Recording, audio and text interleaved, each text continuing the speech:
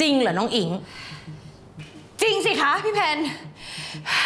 อิงพูดความจริงทุกอย่างจากใจอิงเลยค่ะ อิงเนี่ยเห็นแบบแปลนเนี้ยตกอยู่ที่พื้น อิงก็เลยเก็บเอาไว้เป็นหลักฐาน อิงว่างานเนี้ยต้องมีผู้มีอิทธิพลอยู่เบื้องหลังแน่นอนค่ะ ต้องมีผู้มีอิทธิพลเนี่ยอยากจะเอาพื้นที่ดินของโรงเรียนเราไปทำรีสอร์ทแน่ๆโอ๊ยพี่เพนคะ อิงว่าจะมาปรึกษาพี่เพนอยู่พอดีเลยค่ะ เป็นไปได้เหรอ ของสำคัญขนาดเนี้ย จะมีคนมาทำหล่น อย่าบอกนะ ว่าพี่เพนสีสงสัยฉันเฮ้ยความลับแตกขึ้นมา สวยแน่ หรือว่าน้องอิงเป็นตัวการ หาเรื่องยุบโรงเรียน แล้วเอาที่ไปสร้างรีสอร์ทพี่เพนสีต้องขุดคุยหาความจริงแน่เฮ้ยอย่าบอกนะ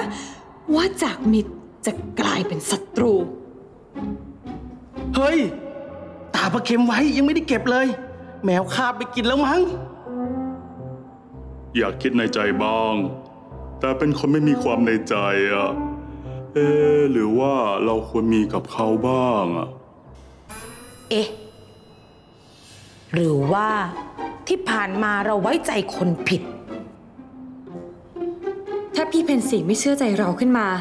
โอกาสจะได้เป็นแฟนกับพี่บอย คงเท่ากับศูนย์อืม ไม่ได้การละ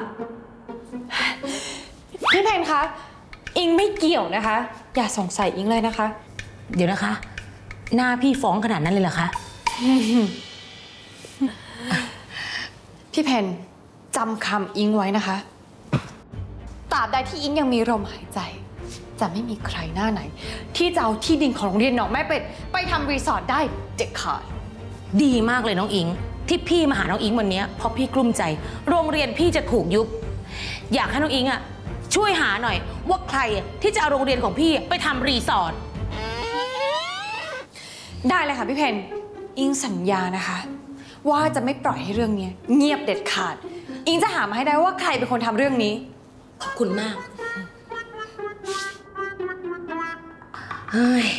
เราคงคิดมากไปเอง น้องอิงไม่มีพิษมีภัยอะไรหรอก หวังว่าจะไม่สงสัยอะไรแล้วนะ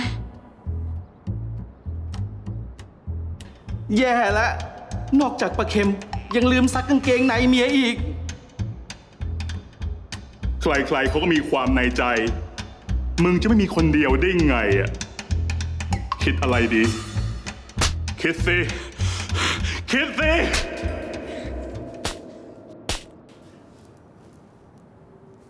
เธอที่ต้อง